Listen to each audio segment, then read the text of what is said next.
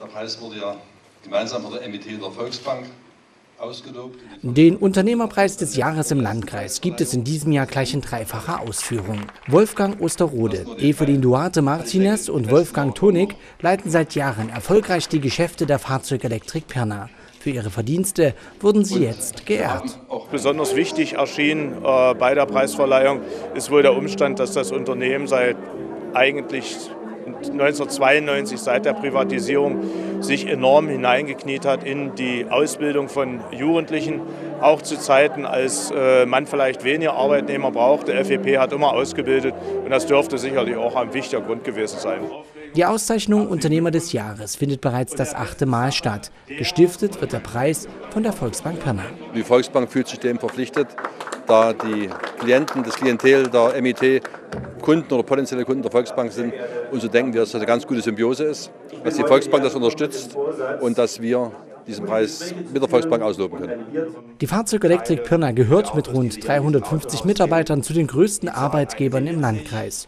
Von Pirna aus liefert das Unternehmen Kunststoffteile für die Fahrzeugindustrie und das weltweit. Stellen Sie sich vor, Sie stehen im Stau und gucken links und rechts und vor und zurück. Dann sehen Sie Autos und ich möchte nicht überheblich wirken, aber in 90 Prozent dieser Autos, die Sie sehen, sind Teile von FEP, sind Teile aus dieser Stadt Pirna, die Leute von hier produziert haben. Der größte Auftraggeber ist Volkswagen, aber ansonsten liefern wir auch sehr gern und wir tun das an BMW, Fiat, Chrysler, Opel, japanische Unternehmen. Wir sind also weltweit in 70 Ländern unterwegs. Die Unternehmer des Jahres 2014 wurden durch eine Jury bestimmt. Zehn Vorschläge standen zur Wahl. Anhand konkreter Kriterien erfolgte die Nominierung. Der Unternehmer darf nicht nur, man muss nicht nur wirtschaftlich erfolgreich sein, sondern er muss sich auch mit der Region verbunden fühlen, muss letztlich das, was er in der Region verdient, auch ein Stück weit der Region zurückgeben. Und das ist, glaube ich, die Symbiose, die unsere Region erfolgreich macht. Und genau solche Unternehmen, die dazu beitragen, unsere Region schöner zu machen, die ehren wir in diesem Rahmen.